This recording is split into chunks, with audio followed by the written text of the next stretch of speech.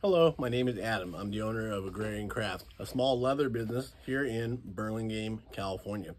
I wanted to introduce myself as I plan on rolling out a series of videos regarding leather work, leather techniques, and even tools. This will include hand tools and machinery such as sewing machines and skivers. I also want to do a small series of videos on shop organization. Currently my shop is in dire need of some organization I've been watching some YouTube videos and I'd love to get feedback from the community at large on things I can do to help improve the shop. I want to be able to establish first order importance of tools that I use every day and storage for tools I do not use on a regular basis. So this will include the use of a 3D printer, leather, and other common tools that we might have in our shops. So hopefully you will follow along and provide some feedback. I'd love to hear back from everybody at large and see what we can do. Thank you. So the very first uh, project I have for the shop is an organizational one.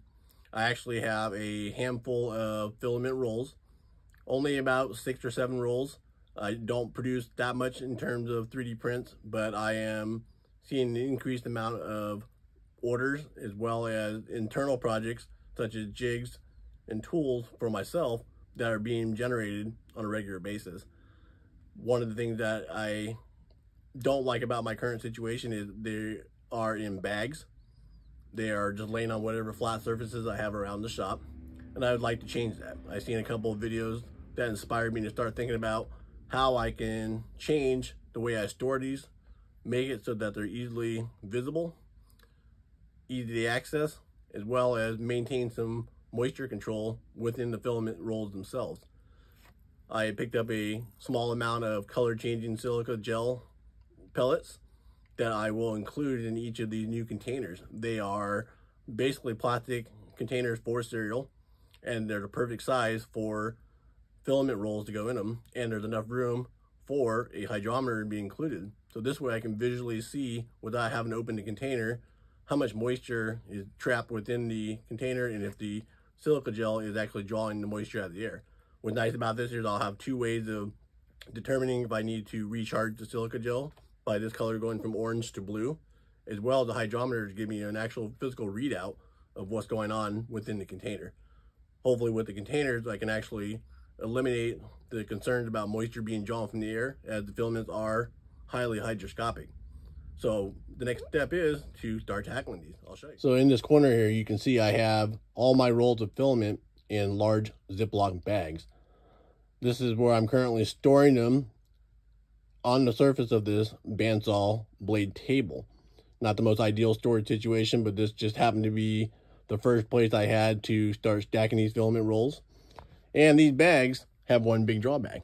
Sometimes the seal doesn't hold and it tends to pop open. Now this puts the rolls at risk of collecting moisture from the air. And if you get enough moisture in the filament, you have to dry it out or otherwise it will cause problems during printing. So this is what I want to tackle next. So before I put the rolls of filament into the new containers, I want to add the 3D printed desiccant jars, which have a threaded lid, into each of the spools. This will allow the desiccant to draw moisture from the container and keep the filament relatively dry during storage. To fill these up, I pour all the silica beads into one large uh, Ziploc bag. This makes it easy to transfer the beads to the jars rather than trying to pour them in. Each time I've done that, I've gotten beads all over the place and made a mess. So this is how I actually do it. When you fill it to the rim, you get approximately four ounces of silica gel beads per container. When I buy them online, I buy them in a one pound bag, which is 16 ounces. And that makes it easy to distribute into a number of these jars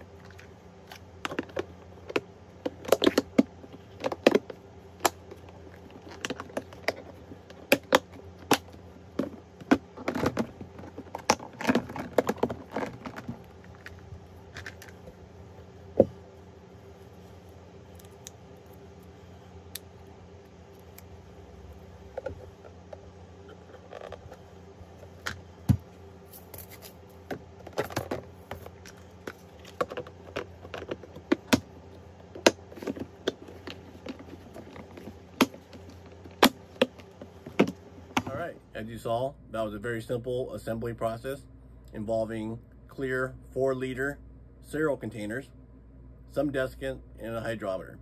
Several of the components were 3D printed. The desiccant jar with the screw top lid was 3D printed, and the case for the hydrometer was also 3D printed. I used double-sided tape to attach the hydrometer to the inside of the case, facing toward the front of the box so I can actually see it from the outside.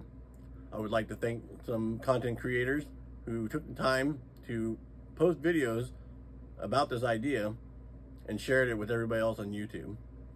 Hopefully you guys enjoyed this video. My first time doing a full-length video, and I'm also doing all the editing from my phone. Any comments and feedback that you guys would like to give, please feel free to give them to me in the comment section below. Hopefully I can get around to making some more videos in the near future in regards to shop organization, leatherwork, and leather tools.